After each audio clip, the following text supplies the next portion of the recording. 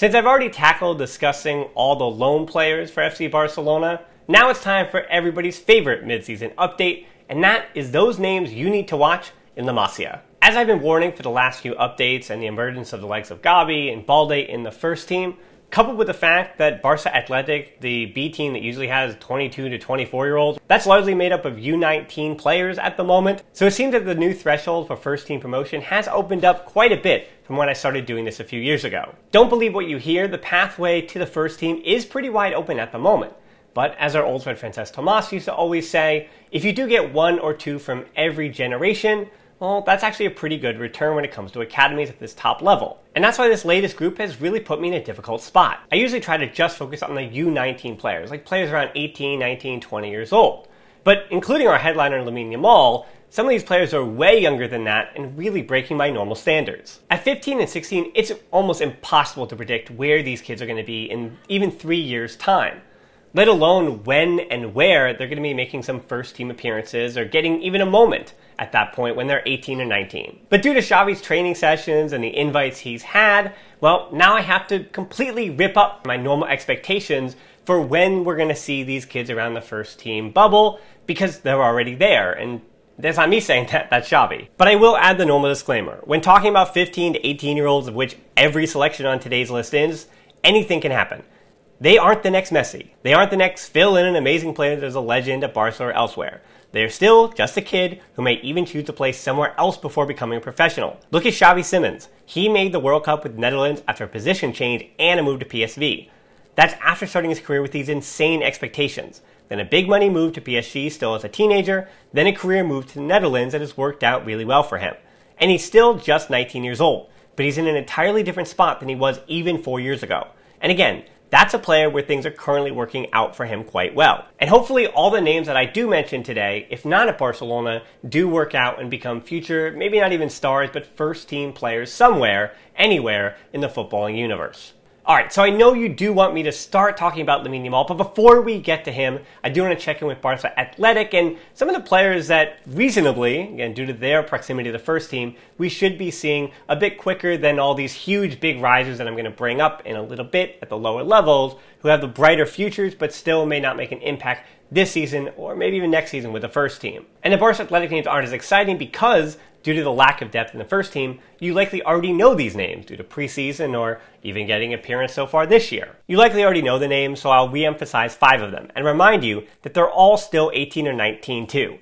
Left-footed center back Chadi Riad should get a Copa del Rey appearance against Intercity, and we could see Marc Casado at least in the squad too. Ilias Akhomach has been a regular starter for the second team, but the end product still hasn't been there this season. But again, he's still just 18 and he does so many of the other important winger things really well. The other winger, Stanis Pedrola, could get a Copa look too, and midfielder Alex Garrido, who unfortunately is injured at the moment, is still a really intriguing prospect at 18. Okay, so with that out of the way, let's worry about the lower levels. And when I say lower levels, I usually mean, let's talk about the 19 year olds or the 18 year olds playing for the U19s or the Juvenil A, or the 16 year olds playing for Cadet A, as in the U16s.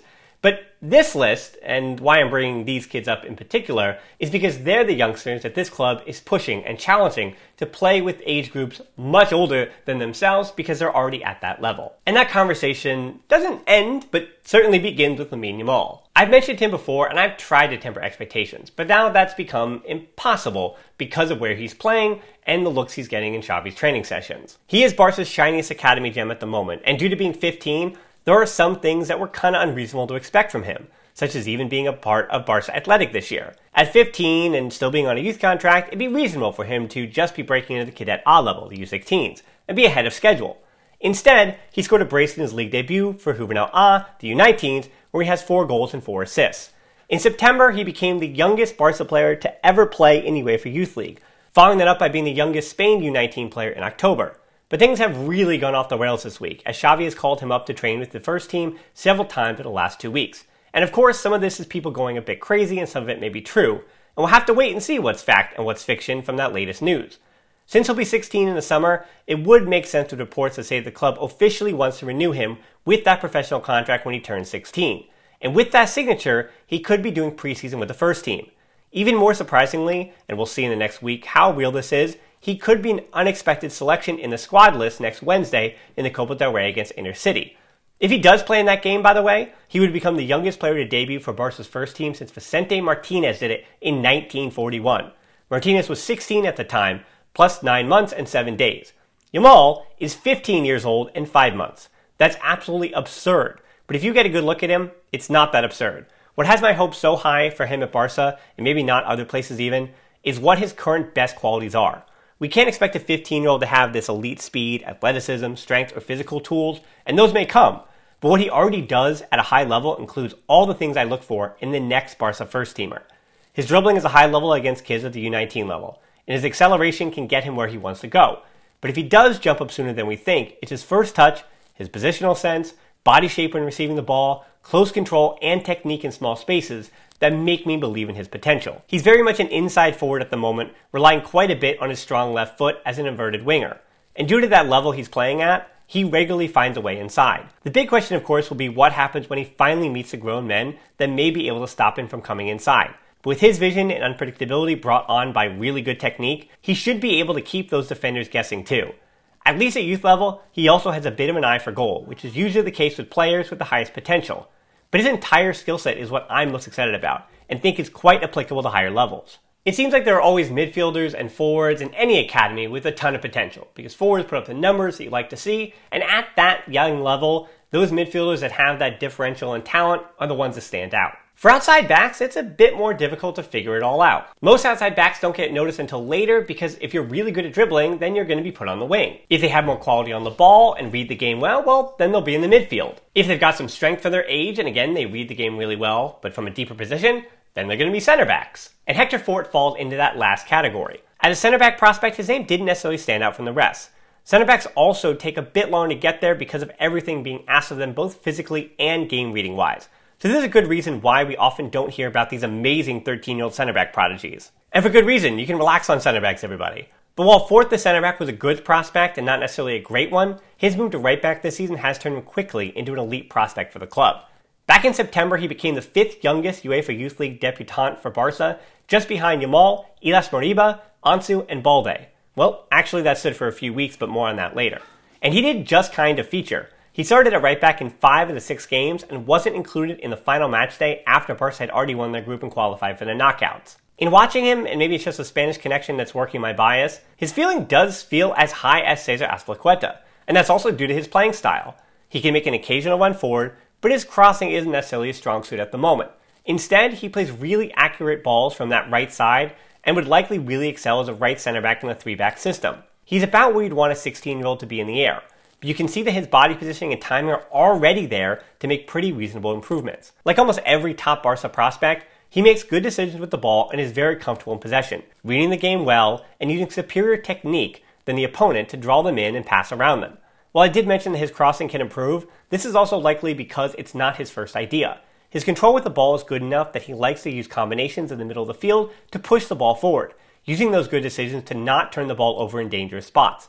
Looking at the timeline, he may time this whole thing perfectly. Even if Sergio Roberto renews for one more season and Barca bring in another right back next summer, two years from now when Fort is 18, I would expect there to be a pathway to minutes for him in the first team. But don't be surprised if you see him sooner. Because Xavi did make my job pretty easy by calling up those U19 players with a lot of potential, and especially at the attacking midfield and inverted winger spot where there are so many options, 17 year old Dani Rodriguez might be at the top of both Xavi's list and he's at the top of my list in that position in the academy too. He's only been at Barca for two seasons now, having joined the U16s in the fall of 2020 from Real Sociedad. Those early days at La Real earned him the David Silva comparisons. But let's pump the brakes on that due to his position at first team level being such a question. David Silva was an attacking midfielder who would set up as a high interior with La Real today just a 10 really, protected by two deeper midfielders. Rodriguez though, who was shown his stuff with the U19s this season, as well as the Spain U17s and 18s and in the UEFA Youth League, has been playing as an inverted right winger and occasionally as an interior.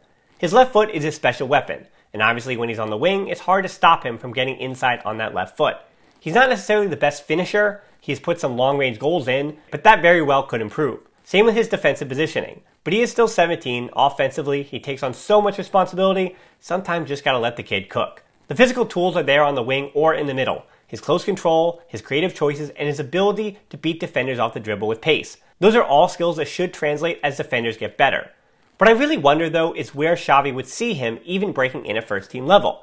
He's probably best in the long run as an attacking midfielder in a 4-2-3-1.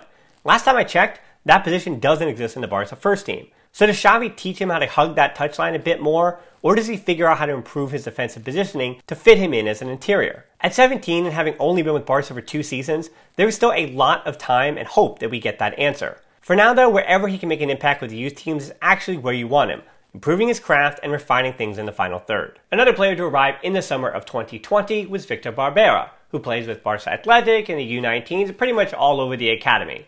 Previously FC Sant Gabriel and CF Damm, both local Catalan sides around the city of Barcelona, that should be an indication that Barbera, he was born in Barcelona as a local boy. I was a little hesitant to put the 18 year old Barbera on the list because I'm not really sure what his future at the club is. His contract is up in the summer, and we haven't heard much about movements on negotiations. While I wouldn't generally be concerned with not hearing anything about a U19 and Barca Athletic player at this point, he has scored enough goals this season that other teams are definitely looking at him, including potentially PSG. They have been looking at him last season, though, too, having scored 23 goals for the U19s on the way to leading them to the league title. This season, it's more goals of the same, scoring 7 goals in 4 UEFA Youth League games, including that 16 minute hat trick against Bayern Munich. The rest of his time has been spent playing between the U19s and Barca Athletic. He only has 2 goals for the U19s, but that's because he's been a regular for Rafa Marquez, playing in 13 games, almost 700 minutes, and scoring 4 goals, which leads the team, by the way. Forward is such a tricky position to predict, obviously when you have Robert Lewandowski and then so many other capable center forwards like Memphis and Ferran Torres fighting for a sniff of a minute, can you ever spare one for a teenager? Barca will have to answer that question in contract negotiations, or Culés will have to watch Barbera's career progress from afar. As for what kind of player he is, it's kind of cliche, but he's a pretty complete forward. He finishes well, moves off the ball well to put himself in scoring positions, doesn't take too many touches with the ball, keeps it moving, drops in to free up space from the wingers, and is decent in the air. He scores in a lot of different ways too, and he's a willing presser. He's quickly turned himself into one of the elite center forwards at the youth level around the world. And like many players like him, his future is all about first team opportunities and a yet unknown ability to do this against top flight competition. It is a good sign that he's still scoring against grown men in the third division with Barca Athletic, but the first team, well, that's a different ballgame. Before we get to the honorable mentions, this last final pick, well, he's somebody that kind of forced my hand and put me in, as I said, a difficult spot because he continues to make history. In November, Pau Cubarsí at 15 became the third youngest UEFA Youth League debutant behind just Yamal and Moriba, missing that second spot by just six days. As I said, having two 15 year olds in this list is a bit weird, but as I've noted in the past, appearing for the club in UEFA Youth League, generally competition reserved for 18 and 19 year olds, does put you on the radar to get looked at by the first team. But I will quickly add the caveat that I did earlier about center backs. Things change at youth level, and they change quickly. For a few years, the name was Diego Almeida, a terrific ball playing center back with all the tools. But after two seasons where his defending hasn't really caught up to his high level offensive game, the 18 year old whose contract expires in June could lead the club at just 19. So again, especially for a position like center back, take heed and be patient. Cubarsí, who arrived from Girona in 2018 at the age of 11, is currently playing with the U18s, that's the Juvenil B, and he did get that one aforementioned start in the UEFA Youth League once the group was decided. What you do have to like about Cubarsí is that he looks the part of the modern center back, He's strong for his age, which sometimes serves to hold players back because they rely too much on their early physical tools. But his reading of the game and ball playing abilities are much more advanced than your average 15 year old right footed center back. Like I do usually try to do with these, he's the last of the five names because he's farthest from the first team at the moment. But, as I always say, that is a name maybe not in the next year or two, but a name to commit to memory for use later. As you've heard me repeat a hundred times, this has been a really unorthodox update because unlike years ago when I started doing this, when the likes of Riqui Puig and Alex Collado were in their early 20s already and just pushing into the first team, the likes of, you have to give them credit, Koeman and Xavi and the club's financial woes, they have really changed the way that the club has had to look at their youngsters, their teenagers, and evaluate whether or not they're ready for the first team. And my honorable mentions still fit in that same mold. I've already highlighted Casas and Ford Angel Alarcon in previous videos now both in the U19s and likely on the verge of some Barca athletic minutes in the spring, but we'll have to see. The update on Alarcon is that after missing more than a year through injury, the now 18 year old has returned well, playing twice in the youth league, but more importantly, scoring 8 goals with 2 assists for the U19s, taking over for Victor Barbera at that level. And Xavi has also recently called him up to first team training. The Ferran Torres esque forward is not the fastest winger, but he can play across the whole front line and uses really good runs off the ball and movement into the box to be a threat. Finishing up the U19, 17 year old center back Martin Georgiev arrived from his native Bulgaria this summer and is doing well both in the youth league and with Juvenil A. He did make some appearances last season for Slavia Sofia's first team, so it may be nice for him to play against teenagers again. I'm not comparing him to Araujo, but I will say that between Araujo and Koundé, he's an Araujo type of center back. His physical tools really stand out at youth level, and as I mentioned before, that can sometimes be a blessing and a curse for young players. His contract is up in the summer of 2024, so I wonder if a call up to Barca Athletic won't be in the cards next year. We'll have to see what former Barca center back, almost legend, Rafa Marquez thinks about him. Another name you heard me mention is 16-year-old Pau Prim, probably the most natural 4-3-3 pivot in the entire academy. He got his debut in the Youth League in a final match day and has been doing his thing for the U18s this season. He's comfortable with both feet, he's tall, and reads the game well. With that position requiring so much positional maturity and high level decision making, I'd still wait about two more years of things going well for him to really consider his name. Because ahead of Prim as the defensive midfielder is Gerard Hernandez, who is a 17 year old regular defensive midfielder for the U19s. Hernandez is one like Marc Casado. He's been in the academy since his pre-teen years and can't be unseated from an important spot in his teams, even though the club does bring in other players to compete with him. And with so many pivot options, it is curious to wonder if any of those will ever make the jump. Back to Juvenil Bay, alongside Prim in the midfield is Adrian Gill, who I mentioned previously over the summer, but I'll mention again. He was one of the six 16 year olds named to the UEFA Youth League squad, but he didn't feature. I'm not concerned about that though due to the competition in the midfield. But what intrigues me is what kind of player he's going to develop as. His U18 center midfield mates in Wesley Dual, Brian Farinas, and Cristo Munoz are all a bit more attacking than he is. But obviously, at that level, Barca are regularly on the front foot, and you get to see plenty of what Gil can do moving forward. And I'm not just putting him on the list because he's an American playing for the U.S. youth teams. Barca doesn't really produce that many natural box box midfielders, and Gil might have a future because of a profile you don't see very often. He just renewed with the club, so save that name as well. And don't get stuck to that box to box idea. Maybe he's an attacking midfielder. Maybe he sits deeper. He has a lot of potential either way. Our last piece of business today, I do want to put the name Niko Takahashi on the radar, but not for the reasons you'd expect. At 17 and playing with the U18s, Takahashi isn't like anybody else that I've mentioned. He's always generally played with his age bracket and is progressing at a reasonable pace. He arrived in 2019 from Cornellà, and the left back did get named to the Youth League roster, even if he didn't feature. But why I bring up Takahashi is that due to him being born in Cornellà to a father from Argentina and a mother from Japan, he's going to be talked about and hyped up more and more as those countries, and especially those countries' supporters on social media, try to recruit him to play for one of those three teams. He's already received call-ups to the Spain U16s and the Japan U19s and U20s, and Argentina is still pushing for him too. Call me crazy, but all that international attention may actually take some of the stress off his day-to-day work at Barca. So that's the list. If there are names you think I missed or names that you think I should have covered, check that video from the summertime, because I likely did mention them, but they haven't really changed their stock too much in a few months since then. But more importantly, I hope you enjoyed the new year and time with family and friends. And if you got a little bit too much work to do or you're just by yourself this holiday season, I want to really thank you for being part of this Barca community and I hope you found a home here as well. And because Barca do play again for the first time in two months, in a few days, make sure you subscribe to the channel so you don't miss any of those match reviews or anything like that, any of the additional contact with Barca actually playing. But most importantly, as always, Forza Barca.